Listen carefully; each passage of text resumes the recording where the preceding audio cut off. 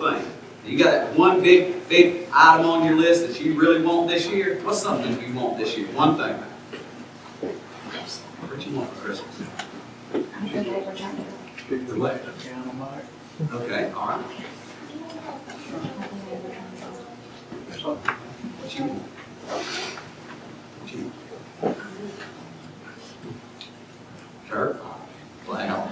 want? If you get one, can I come ride it with you? Your truck is. All right. You got your license yet? Well, you got some time. What you want? Right. Oh, well, you know, Miss Laney, she says I don't need nothing for Christmas. You know? She said, because I have everything, because I have her in my life. I don't need anything because I have her. Do you think Miss Laney's a pretty good gift? No.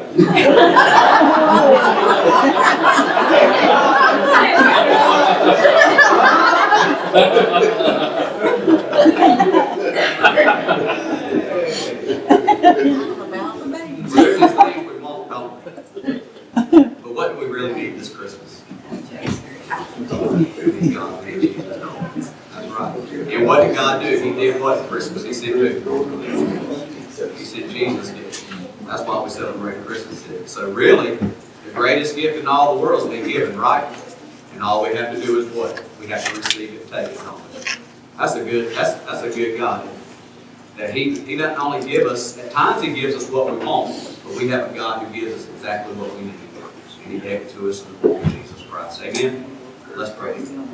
Lord, we do thank you for your blessing. Thank you for just the material things that you bless us with here on this earth. And we thank you for the time that we'll have in a few weeks just to celebrate with our family, Lord, and uh, giving and receiving of gifts. And Lord, I pray that you'll give these kids the desire of their hearts, Lord, and they'll have a good Christmas. But ultimately, that they and all of us here know that the greatest gift has already been given. We thank you for providing Jesus Christ to pay that price for our sins. We pray all of this in His name. Amen. Jesus,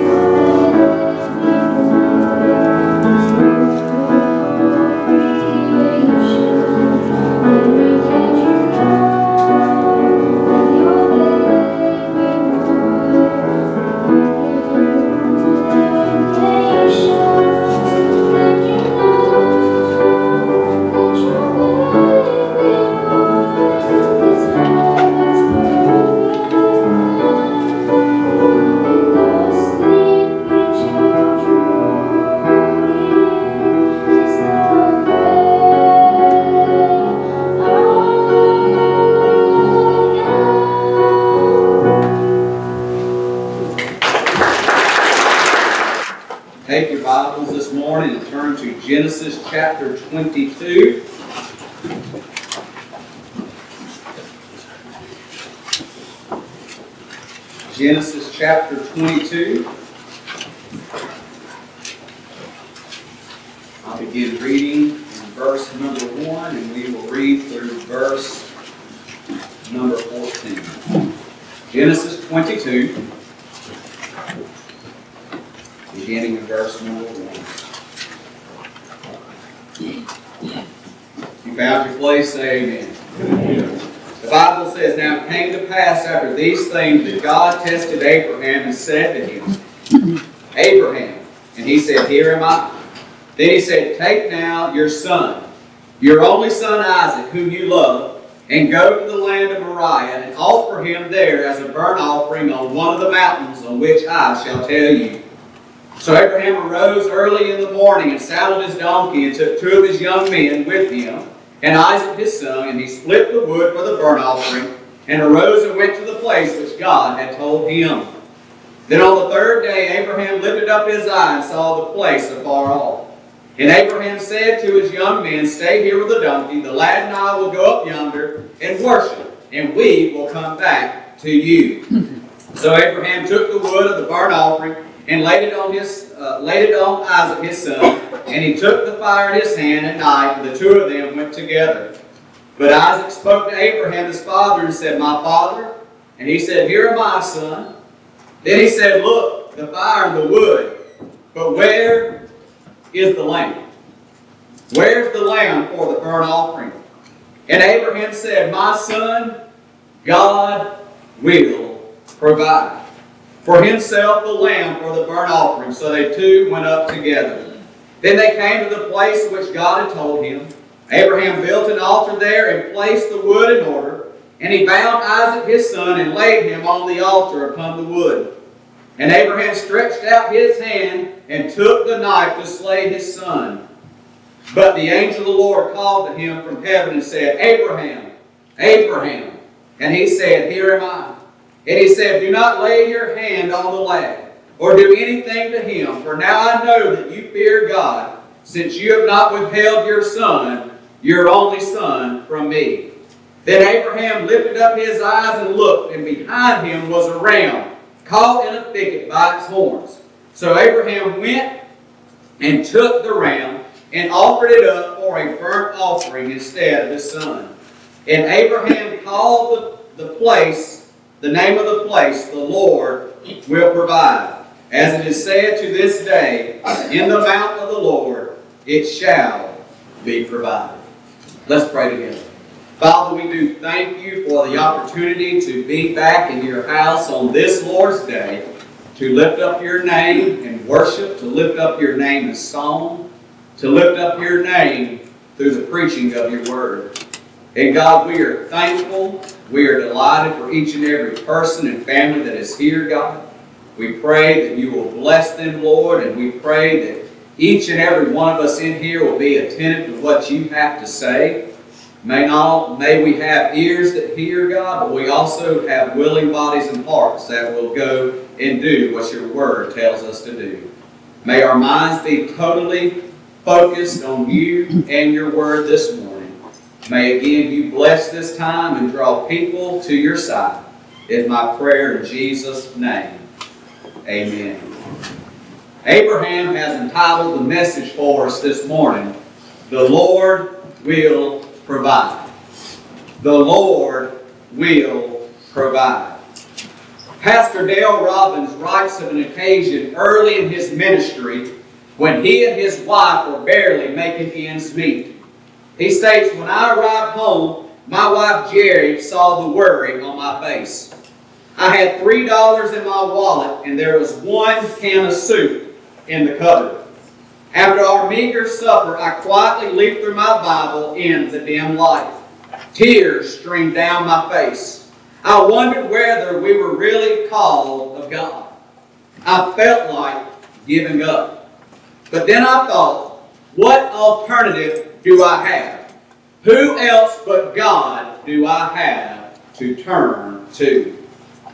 He said, I read the verse, the effectual, fervent prayer of a righteous man avails much. Encouraged, yet still burdened, Jerry and I knelt at opposite ends of that little trailer to seek God. Into the night we prayed until sleep finally overtook us. I was awakened all of a sudden by the pounding at the door. From the window I could see the brilliant orange sunrise behind the city skyline.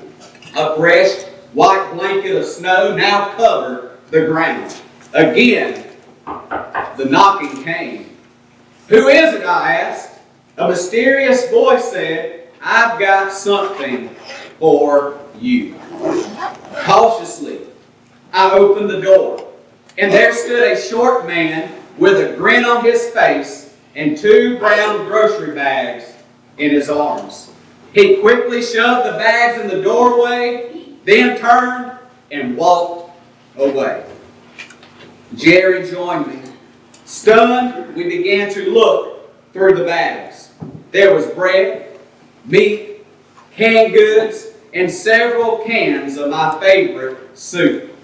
They were the same items and brands that we would normally purchase ourselves. There was also a can of shaving cream. Who knew that I just used my last bit of my shaving cream the night before? On the bottom of, the, of the, one of the sacks was an envelope with cash. Later, I discovered it was the precise amount needed to fill our gas tank to get to our next destination.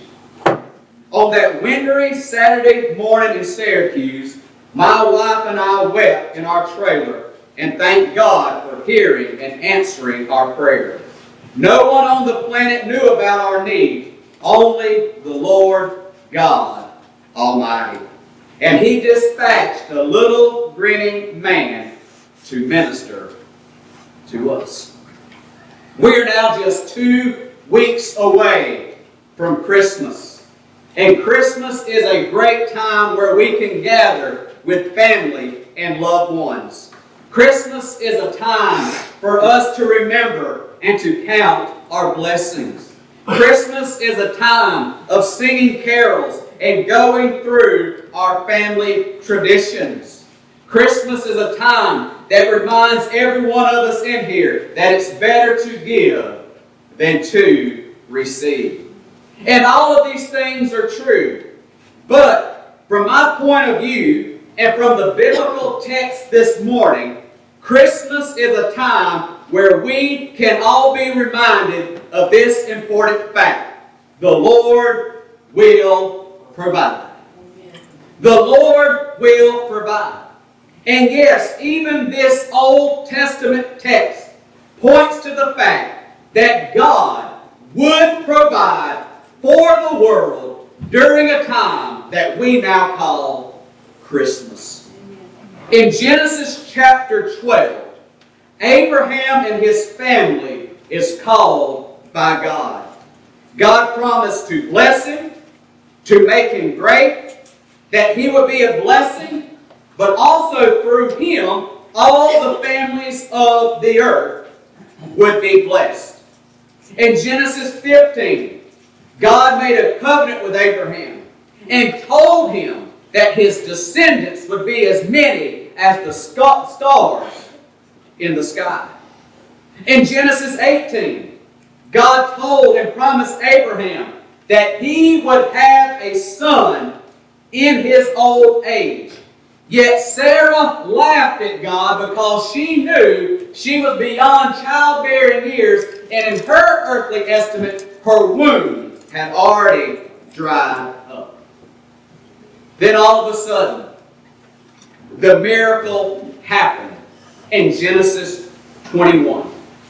Sarah conceived a son, and when Isaac was born, the text tells us that Abraham was 100 years old.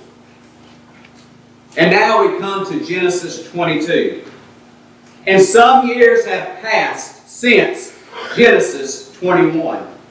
And as a young child, I always personally believed and had the impression that Isaac was a young lad, a young boy at this point in his life, probably 8, 10, or 12 years old. But the more I've studied and learned over the years, I believe that Isaac was probably more toward adulthood, if not already an adult at this time.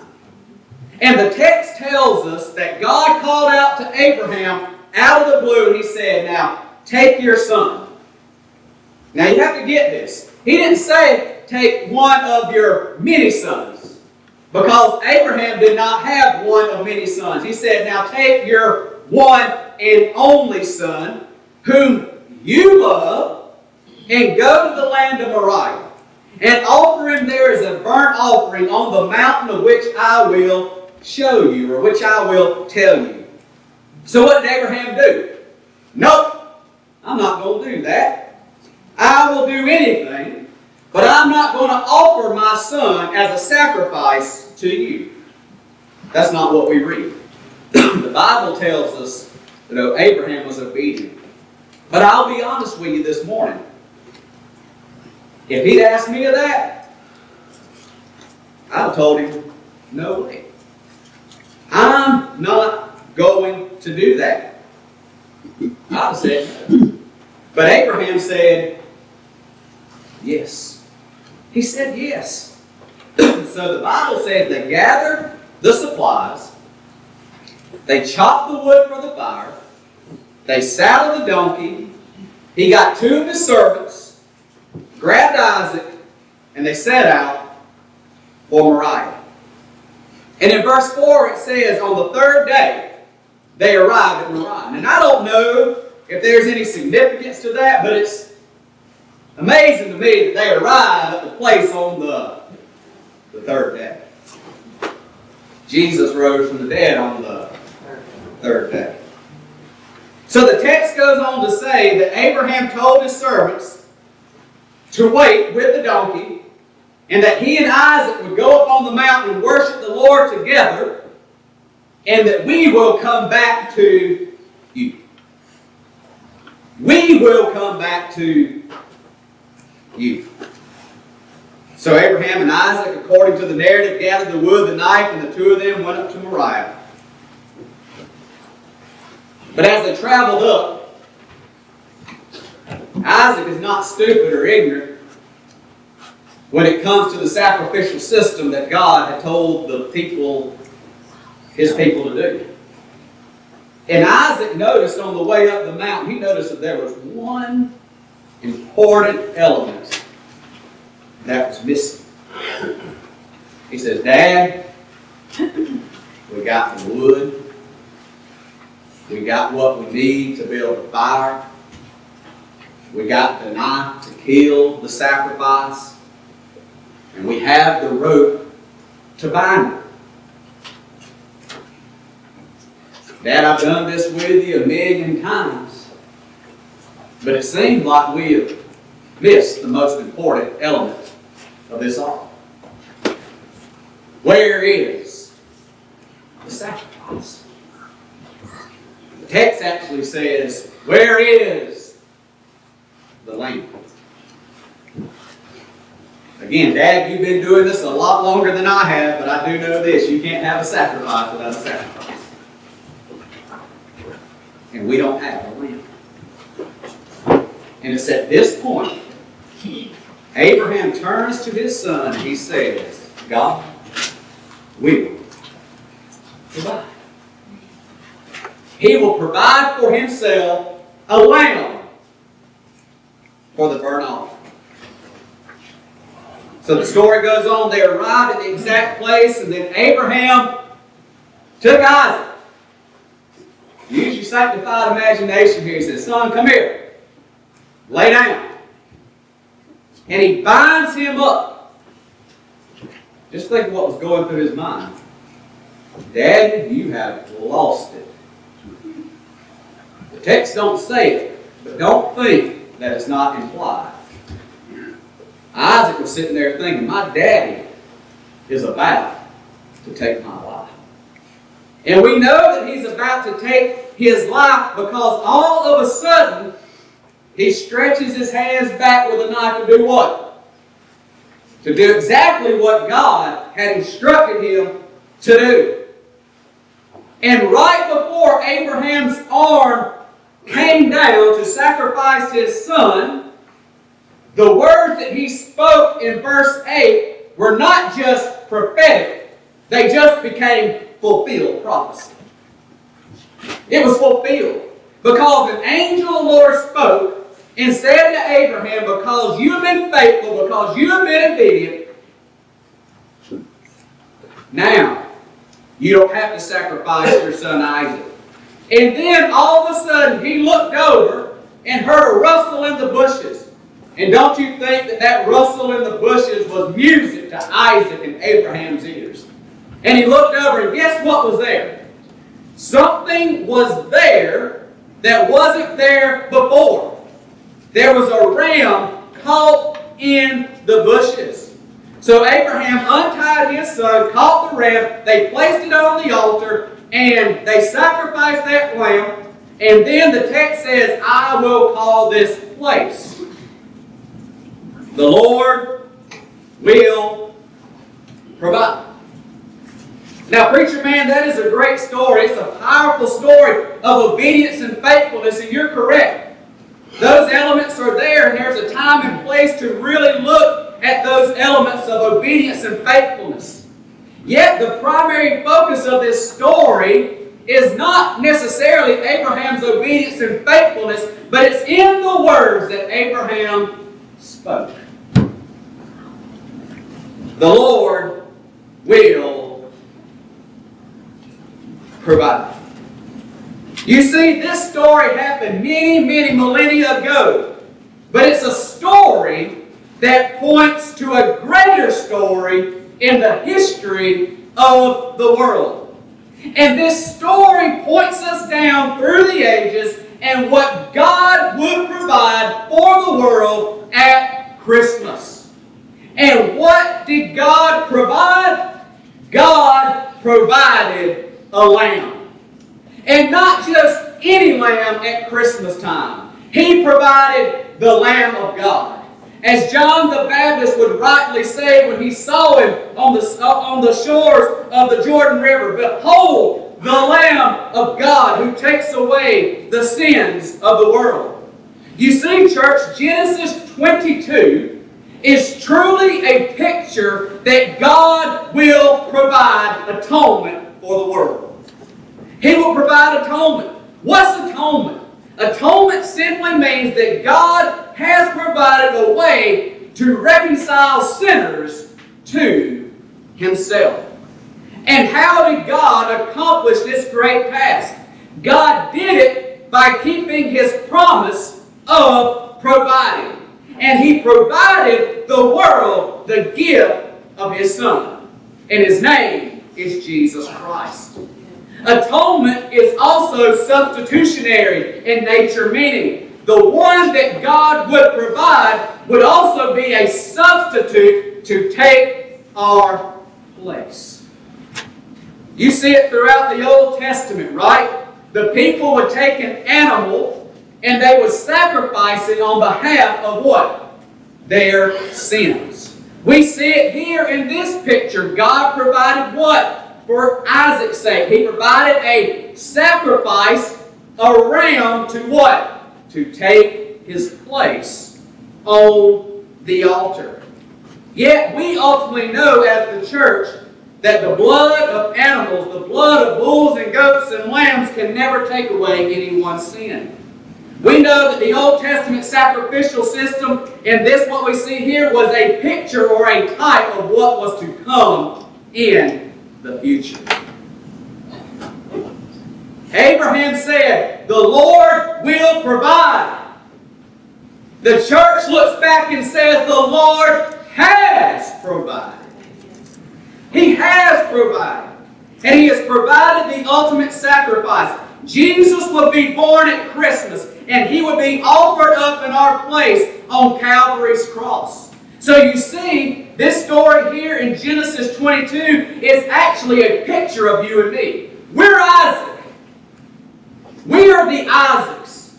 We deserve to be on that altar. We deserve to take the wrath and punishment for our sin because we have transgressed a holy and perfect and righteous God.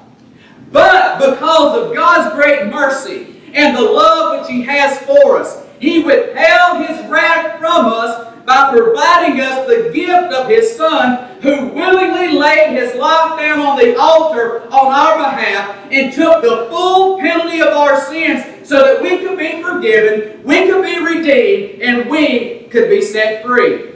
And church, this would not have happened if God had not provided for us the gift of His Son in a town called Bethlehem. Abraham stated again, God will provide.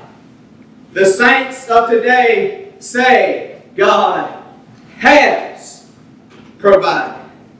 No wonder the angel said, You shall call his name Jesus, for he will save his people from their sins. No wonder the angel said, For there is born this day in the city of David a Savior, a substitute, and his name is Christ the Lord. No wonder the angel sang in front of those shepherds that night, Glory to God in the highest, and on earth peace, goodwill toward men. Why did they sing? God had provided. Why did the shepherds come and worship and adore Him and leave praising and glorifying God? Because they knew on that night, not only had they seen the face of God, but God had kept His promise from Genesis 22.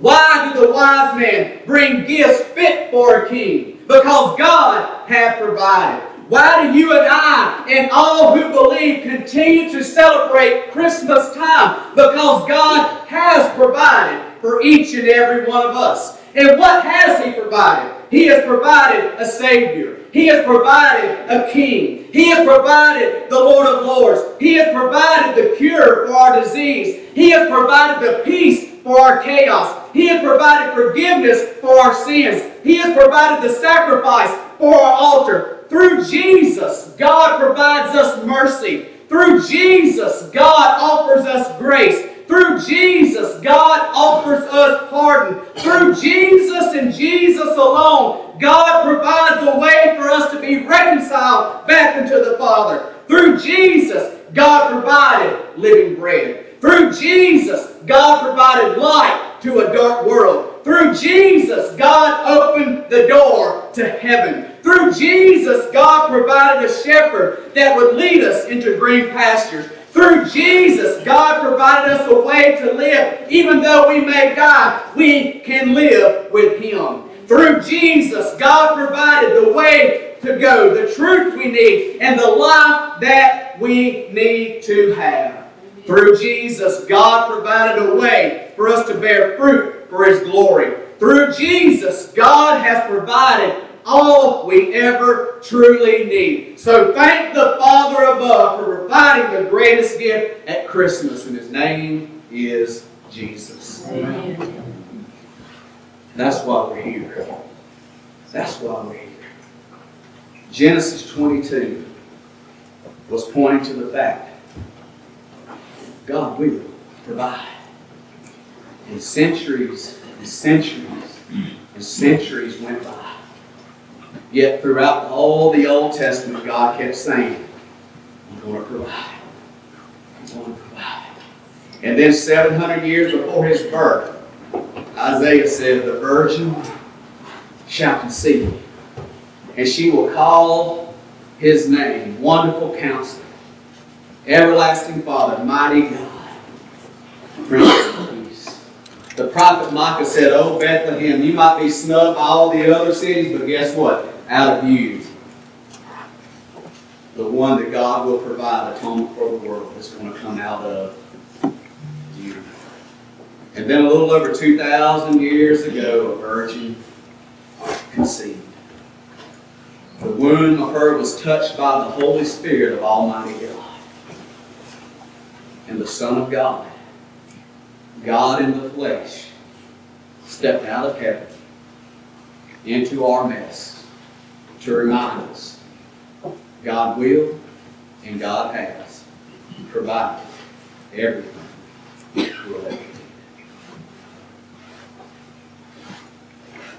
If you're not saved this morning, your greatest need is to be saved. What do I have to do? What ritual or what fancy words do I got to say to get right with God? Sorry, there's no ritual. You mean walking down this aisle and saying, no. You mean repeating a little prayer that, oh, no.